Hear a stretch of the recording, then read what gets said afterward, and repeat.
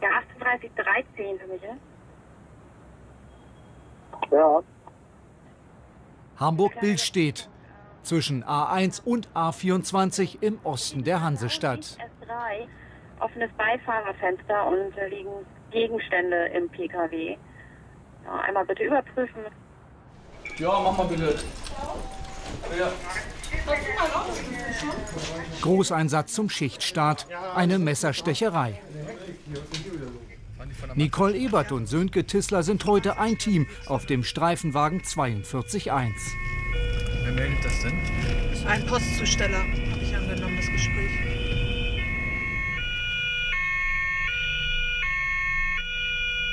Sie bahnen sich den Weg durch den Hamburger Berufsverkehr. Eigentlich müssten die Autofahrer eine Rettungsgasse bilden, nach rechts und links ausweichen. Doch Fehlanzeige. So geht wertvolle Zeit verloren.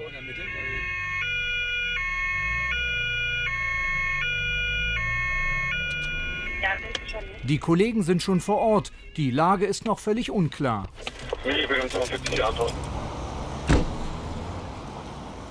Mit vorgehaltener Waffe halten die Polizisten einen Verdächtigen in Schach. Er soll einen anderen Autofahrer angegriffen und mit einem Messer verletzt haben. Ein alltäglicher Fall in Bild steht.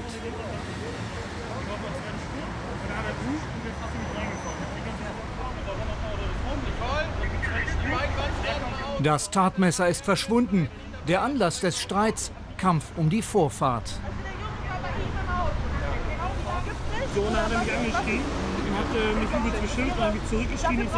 Äh, Einer der Beteiligten fühlte sich provoziert. An der Ampel dann der Showdown. Plötzlich fuchtelte einer mit dem Messer herum.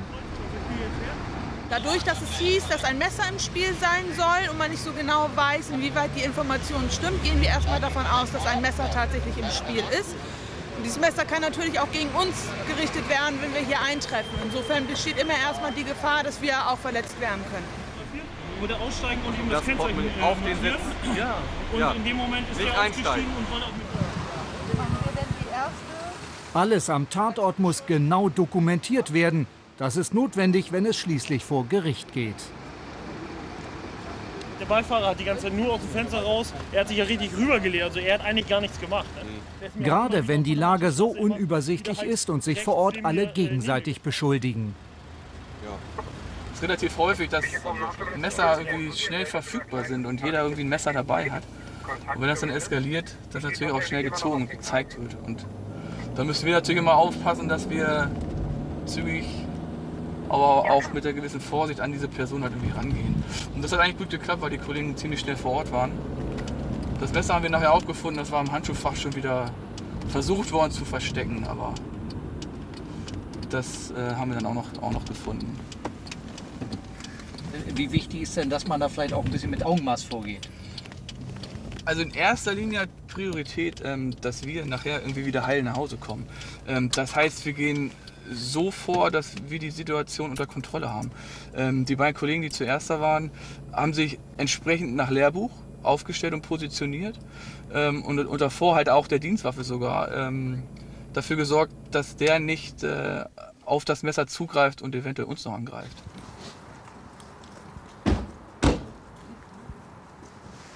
Die Dienstmütze ist in Hamburg Pflicht. Wer sie vergisst, bekommt Ärger mit dem Vorgesetzten.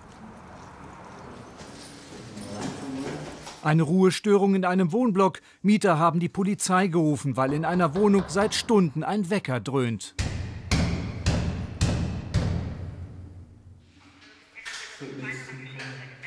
Bevor der Schlüsseldienst anrücken muss, versucht sich Polizeikommissarin Nicole Ebert selbst als Einbrecherin.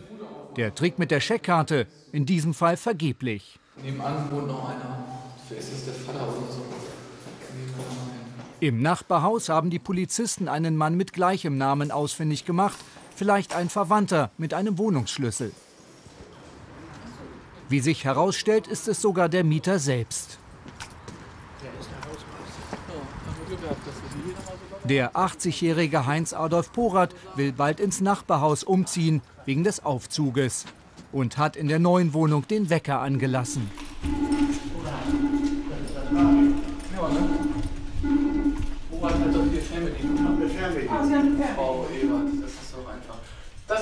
Mensch, wir wollen den gar nicht. Mal gucken, wie Ich wollte sagen, jetzt muss ich aber mal gucken. ne? Jetzt müssen Sie Jetzt muss ich mal gucken. Also, einfach jetzt wieder abhauen. Das ist die große Terrasse. Mann. In Hamburg explodieren seit Jahren die Mietpreise. In Billstedt geht es 700 Euro für 70 Quadratmeter, inklusive zwei Terrassen. Vorbehalte darf man aber nicht haben. Klasse, gefällt mir. Ja.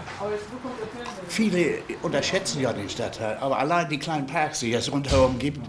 Und es ist kein Schickimicki-Stadtteil, wo, wo so, so komische Leute wohnen, die alle was Besseres sein wollen, ne? sondern ganz normale Leute wohnen hier. Ja. Das macht jetzt einen richtig netten Eindruck, oder? Ja, das war mal so ein klassischer äh, Einsatz, wo man mal wirklich Hilfe leisten konnte. Ähm, Es kommt ja selten vor. Eigentlich rennt man den Verbrechen immer so ein bisschen hinterher. Und hier konnte man wirklich mal einen älteren Herrn helfen und der war auch echt froh, dass wir da Abhilfe schaffen konnten, ohne großen Aufwand. Billstedt ist kein normaler Hamburger Stadtteil. Mehr als die Hälfte der Menschen hat einen Migrationshintergrund. 150 Nationen sind hier zu Hause. Die Arbeitslosigkeit ist hoch. Mehr als ein Viertel der Menschen bekommt staatliche Unterstützung. Einsatz im Supermarkt. Ein Ladendetektiv hat zwei Diebe auf frischer Tat ertappt. Ich wollte äh, die, diese hier bezahlen. bezahlen. Und, äh, ja. ich wollte die, äh, die Wanderung bezahlen. Nein, nein, nein, nein, diese Karte ist nicht mein.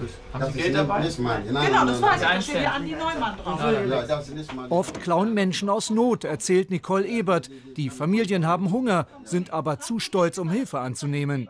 Dieser Fall scheint anders gelagert zu sein. Wo ist denn Andis Zuhause? Das darf man nicht. Ich weiß. Ja, Diebstahl ist verboten. äh. Das ist Straftat, muss ich eine Anzeige schreiben. Was ist das Ja? da? Brauchen Sie nichts zu sagen, können Sie aber gerne. Ja? Meine Frage an Sie, sehen Sie das ähnlich oder war das ein Versehen? Ja, okay. Ist das alles, was Alles Sie an Geld ja. haben? Was? Nein. Das war kein Versehen. Das war, Sie haben es geklaut. Also, Nicht bezahlt. Nee, ich wollte meine Kollegen. Ein Fall wie viele. Die Einzelhändler kennen das und sorgen vor. Der Kollege von der Kribo hat gesagt, wir würden sie nochmal laufen lassen. Na, es war schon viel, 123,93 Euro. Ja. Wenn Sie das Ganze sammeln, dann ist das auch irgendwann mal der Fall, dass man sie deswegen einsperrt. Ne? Ja. Gepaart mit den ganzen anderen, was da noch offen ist. Ne? Freundliche Routine. Die Wahrscheinlichkeit ist hoch, dass die Ansprache auch dieses Mal nicht fruchtet.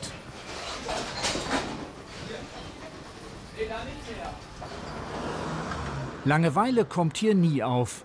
Zwischen Dienstbeginn und Nachtphase gibt es höchstens mal die Ruhe vor dem Sturm, wenn in Shisha-Bars und zu Hause der Alkoholpegel steigt und das Aggressionspotenzial vieler Menschen zunimmt.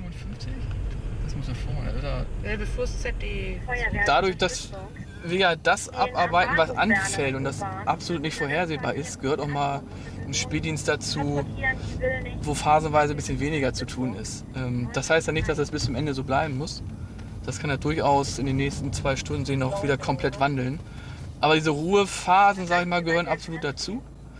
Wobei wir dann natürlich nicht die Ruhephasen ausnutzen, um an der Wache zu sitzen und nichts zu tun, sondern dann werden die oftmals ausgenutzt, um einfach Streife zu fahren, sich irgendwo zu zeigen, irgendwo präsent zu sein, was ja auch irgendwie zu dem Job dazugehört und einfach ansprechbar zu sein für diejenigen, die vielleicht auch jetzt gerade in dem Moment irgendwie eine Hilfe ersuchen haben oder so. A1 Richtung Süden, Billstedt auffahren und dann zwischen Billstedt und Moorfleet haben wir einen Liegenbleiber. Äh, Donnerrechten, 19.06 Uhr. Ja, verstanden. In ihrer Dienstzeit absolvieren die Polizisten unzählige Alarmfahrten, also Fahrten mit Blaulicht und Martinshorn. Ein Risiko ist immer dabei, weil andere Autofahrer auch irrational reagieren können.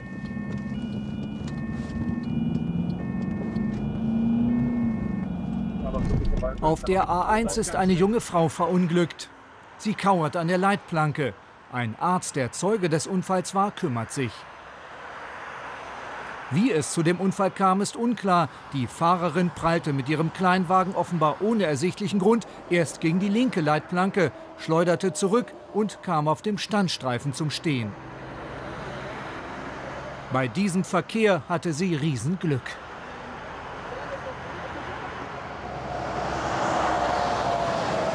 Jetzt warten wir zum einen auf einen Rettungswagen, weil der Dame geht es jetzt nicht mehr so gut. Ihr ist schwindelig und ihr sind die Beine weggeklappt. Das muss jetzt einmal ärztlich begutachtet werden. Und dann müssen wir zusehen, dass wir die Autos hier von der Autobahn runterbekommen. Das ist schon nicht ganz ohne. Ich meine, die Autofahrer, die reduzieren ja überhaupt nicht ihre Geschwindigkeit. Nein, das Leben hier auf der Autobahn ist relativ gefährlich. Also man muss schon aufpassen und darf sich nicht darauf verlassen, dass die Verkehrsteilnehmer mitdenken oder auf uns Rücksicht nehmen. Die Mutter ist zur Unfallstelle gekommen und bringt ihre Tochter nach Hause.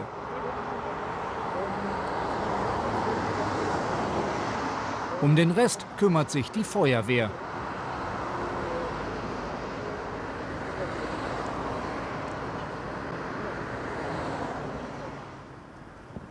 Eigentlich haben Nicole Ebert und Sönke Tissler jetzt Feierabend, aber die Einsätze des Tages müssen noch abgearbeitet werden und das heißt Berichte schreiben.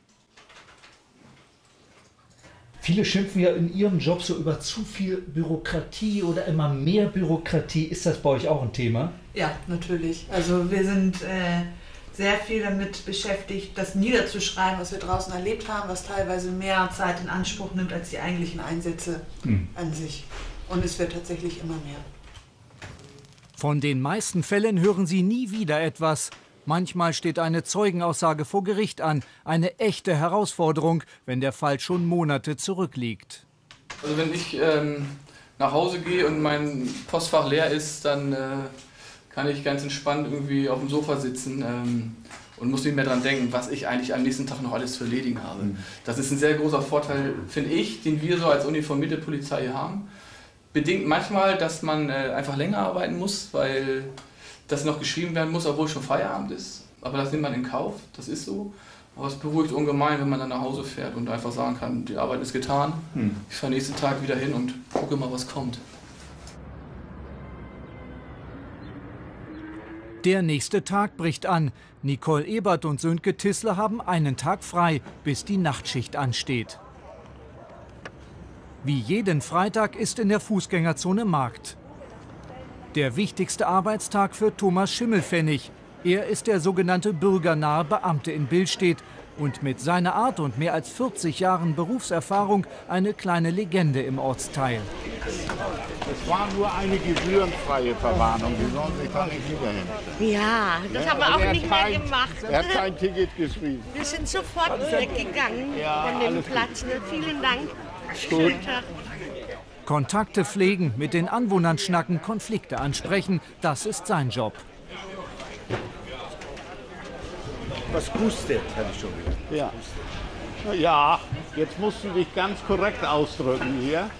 Heute kommt ein Einsatz dazu. Nee, Die katholische Schule hat gemeldet, dass sich auf dem Schulgelände ein fremder Mann herumtreibe. Und er hatte er heute auch die Mütze auf? Auch die Mütze auf, ja. Und was hat er noch an? Er hat so eine schwarze Jacke an, ja. Und, ja. Äh, äh, und eine Jeanshose. Auch Gut. eine äh, schwarze Jeanshose. Wenn er wieder da ist, mich sofort anrufen, weil okay. wir wollen ja wissen, wer es ist. Ne? Okay. Gestern und auch mittlerweile heute hat sich eine unbekannte Person hier auf dem Schulgelände aufgehalten. Äh, Südländer, eine Strickmütze auf, so typisch wie aus Südamerika. Peru-Mütze und ist auch in Klassenräumen, im Lehrerzimmer und in der Sporthalle angetroffen worden. Und das soll natürlich nicht sein. Seinen Rundgang nutzt Thomas Schimmelfennig, um sich umzuhören. Vor Bildstedt war der Hamburger Kiez sein Revier. Diese Erfahrung hilft. Die Menschen hier haben Respekt und vertrauen ihm, jedenfalls die meisten. Das Besondere, er hat eine Wollmütze auch für die Südamerikaner, weißt du, mit den Lappen an der Seite für unsere Musikspieler. Wenn du den siehst, mich anrufen. Ja, ich hoffe, das ist der, ne? Ja, du, du musst mich ja nur anrufen. Du musst ihn nicht festhalten, festnehmen. Nein, nein, ich mach nichts. Aber rufst mich an. Das ist wichtig in meinem Bereich, dass sie gut vernetzt sind. Das heißt, sie müssen überall Leute haben, mit denen sie ein kleines oder gewisses persönliches Verhältnis haben, die ihnen Informationen geben, die ihnen Informationen liefern und die sie auch notfalls unterstützen, wie wir das jetzt vorhin schon gemacht haben, dass wir an gewissen Punkten Bescheid sagen, dass ich jetzt jemand suche und wenn der jetzt noch heute auftaucht, werde ich das auch erfahren. Bei den Kollegen werden die Bühner B, wie die bürgernahen Beamten auch genannt werden, oft ein wenig belächelt. Da kommen Sie. Das Klischee, sich nett unterhalten, hier und da mal blicken lassen, einen eher ruhigen Job machen. Thomas Schimmelfennig versteht seine Aufgabe anders. Eine Karte? Nee, ein Foto von ihm. Nein. Eine Karte von ihm, also jetzt habe ich den Telefon. Ja, gut, dann ist gut. So wie heute, als er den Verdächtigen vom Schulhof sucht. Wir haben ja gar keine Kapazitäten, solche Aufgaben wahrzunehmen. Also das kann nur ich machen und das, darin sehe ich auch eine meiner Aufgaben. Pause auf dem Wochenmarkt bei Ingrid Knappert. Ich würde gern einen Kaffee haben mit Milch und ein Stück Zucker. Äh, reden Sie ein bisschen deutlicher, sonst verstehe ich das nicht mehr. Der kleine Imbiss gehört genauso zum Billstädter Wochenmarkt wie Thomas Schimmelfennig. Bitte schön. Ja, ist alles soweit okay. Ich muss ja sagen, er ist manchmal ein bisschen nett. Nicht oft, aber manchmal. Ja, doch, das ist er. Und wenn man ihm sagt, Herr Schimmelfennig, gehen Sie mal dahin, und dann steht er uns auch immer schön bei, ne? noch, macht, noch macht er das. Nicht mehr lange. Nicht mehr lange. Nach mehr als 40 Jahren Polizeidienst geht Thomas Schimmelfennig in Pension. Was werden Sie denn vermissen so an dem, an dem Beruf? Mich, Die Menschen. mich. Die Menschen, unter anderem Frau Knappert. Sie ist ja eins der letzten Originale dieses Marktes. Und trotzdem, wohnen möchte Thomas Schimmelfennig hier nicht. Mittags dann der nächste Pflichttermin, das Freitagsgebet in der Ibrahim Khalil Moschee. Wir haben hier mit der Moschee die größte afghanische Gemeinde in Nordeuropa. Bei den Afghanen stellt sich das äh, anders dar als bei vielen anderen Nationen, auch islamischen Glaubens. Hier der, ist der Glauben deutlich stärker ausgeprägt, noch in den Familien, auch in den Familienstrukturen.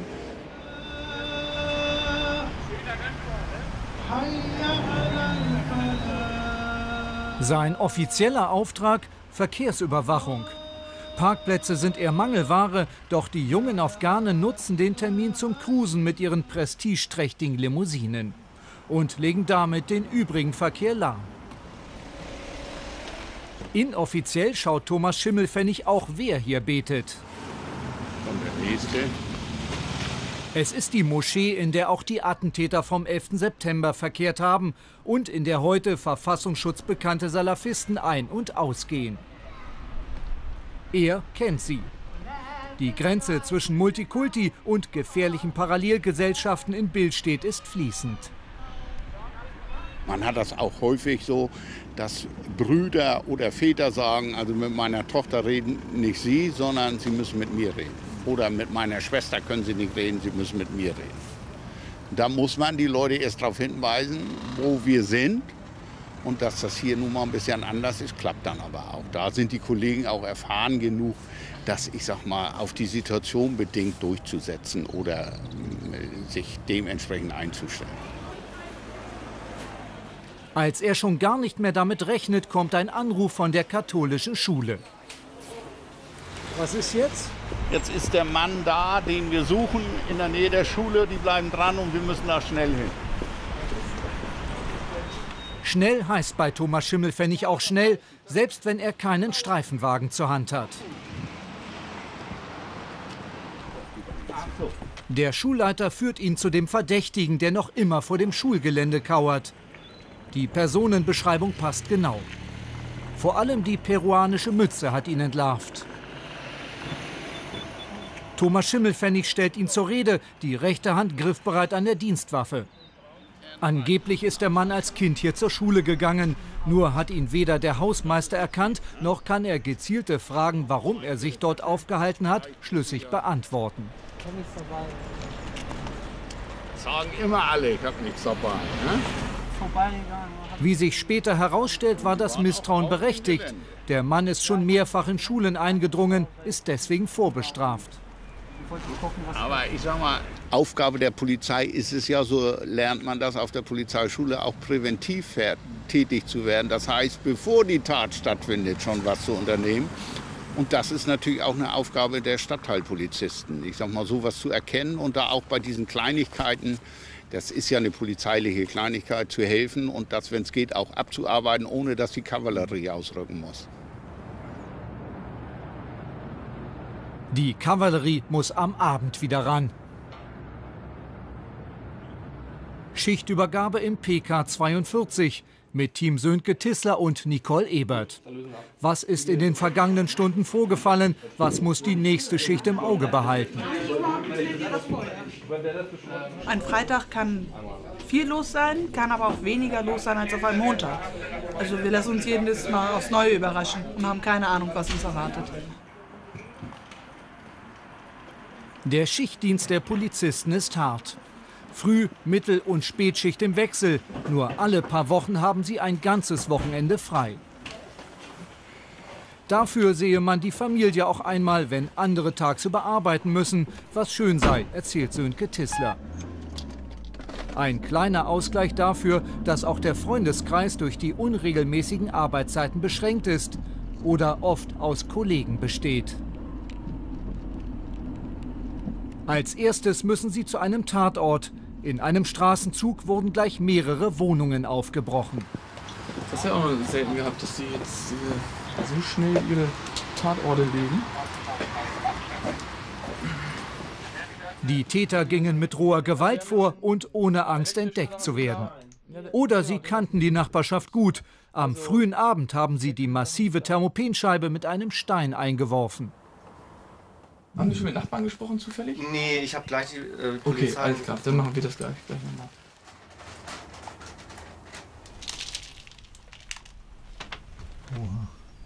Also ich hatte hier schon mal ein Einbruch, das ist aber 13 Jahre, glaube ich, her.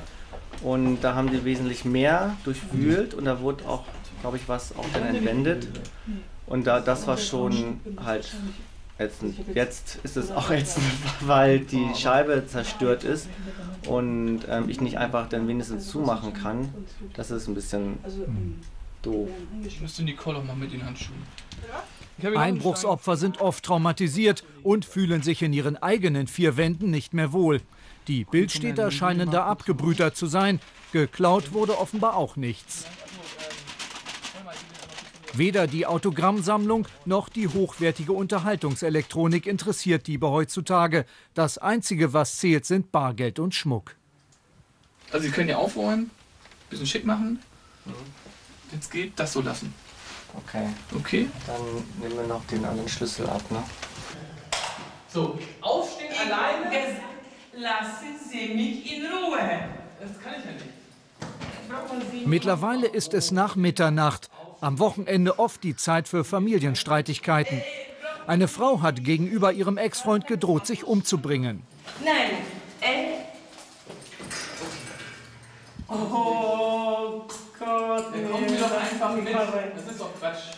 Ich habe Ihnen das doch tausendmal erklärt. Ich will Ihnen doch nur helfen. Brauchen Sie nicht mit mir so umzugehen. Doch. Weil sie ihre Selbstmordabsichten vor den Polizisten wiederholt, müssen Nicole Ebert und Sönke Tissler die betrunkene Frau mitnehmen, in Handschellen. Nee, sollen Sie mich nicht anfassen. doch die Möglichkeit. Habe ich gesagt. Danke. Danke, wie hier sitzen, Mann. Nicht jeder möchte, dass ihm geholfen wird. Doch hier haben die Beamten keine Wahl. Ausstieg in einer speziell abgeriegelten Garage ohne Fluchtmöglichkeit. Dieser Weg ist für alle gleich, ob Suizidkandidat oder Schwerkrimineller. Das ist leider Frage, für welche sind, ne? Ob sie die noch nehmen muss heute. Aber ich kann mir vorstellen, ich kriege keine Antwort. Inventur der Habseligkeiten, vor allem Spirituosen. Angelutscht. Was passiert jetzt mit der Frau? Ja, die Frau bleibt jetzt erstmal hier, da sie ja, geäußert hat, sie möchte sich erhängen. Das kann man natürlich nicht zulassen. Und dann müssen wir mal gucken, ob der Amtsarzt daran Interesse hat. Hier ist natürlich das Problem, dass sie deutlich alkoholisiert ist. Also sie möchte zwar nicht pusten, aber aufgrund ihres Gangs und ihrer Aussprache ist davon auszugehen. Und dem, was wir hier eben gesehen haben, dass sie sehr viel Alkohol zu sich genommen hat. Und dann muss man mal sehen, wie wir weiterverfahren. Ob es reicht, sie auszunüchtern, in Anführungsstrichen, und ob sie denn ihre Absichten nicht mehr hat oder ob die über den Alkoholgenuss hinausgehen. Nee, ihre Schuhe bekommen wir erstmal nicht wieder. Sie kommen jetzt einmal in den einen Raum. Sie bekommen alle Sachen wieder. Diese Nacht wird die Frau in der Ausnüchterungszelle verbringen, wo sie zur Sicherheit ständig beobachtet wird.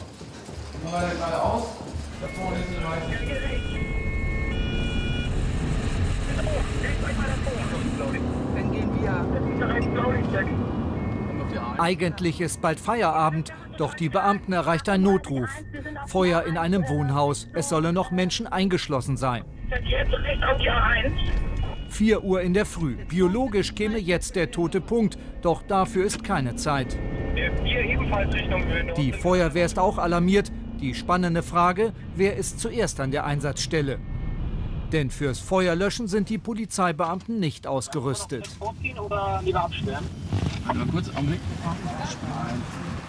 Von der zuständigen Feuerwache ist nur die Drehleiter vor Ort.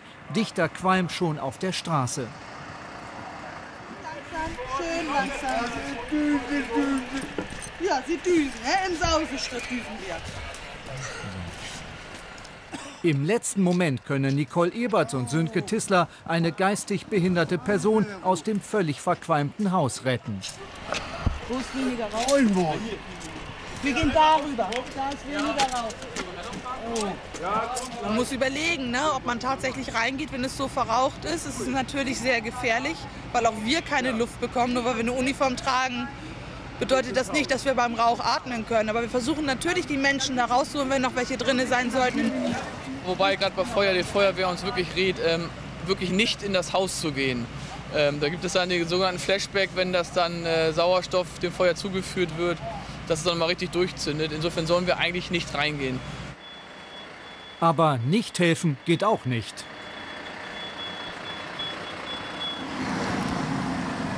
Erst jetzt trifft das erste Löschfahrzeug ein. Ja, von dem Streifenwagen sitzen ist besser als stehen, oder? Sie können im Orbit nicht rein. Am Orbit Ja, wollen wir einmal dahin gehen? Wollen Sie sich wieder festhalten? Mittlerweile brennt es in dem Gebäude lichterloh. Jetzt ist die Feuerwehr am Zug. Den Polizisten bleibt zuzuschauen und auf die Fakten zu warten für den Bericht. Ja, das ist vielleicht irgendwie. Solange du nicht weißt, was da drinnen los ist, macht es auch nicht so viel Sinn, den Bericht zu schreiben.